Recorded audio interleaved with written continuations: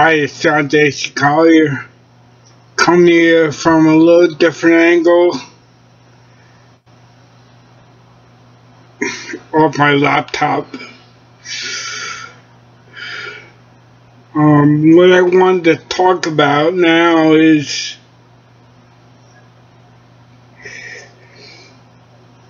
people say how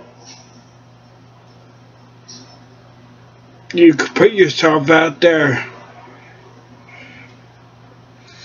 when you're afraid that people are gonna criticize you.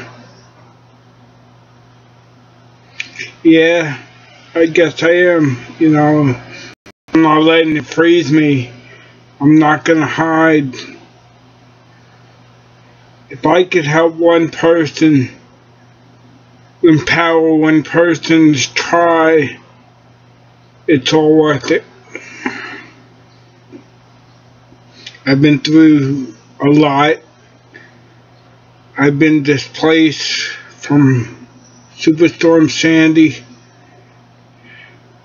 Spent 15 days in a shelter, four months in a FEMA funded hotel in Lake City, New Jersey. But I'm home now as of March 21st, 2013.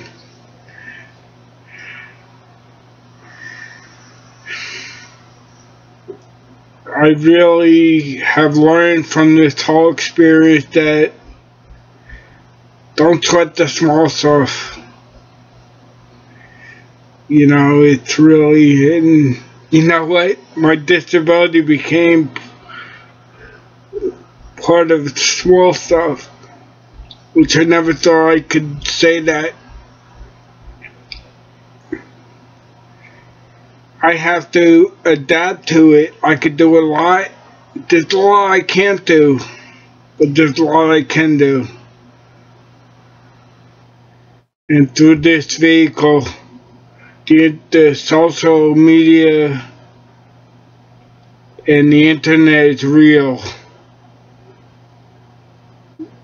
you can touch people. And I have trouble getting around.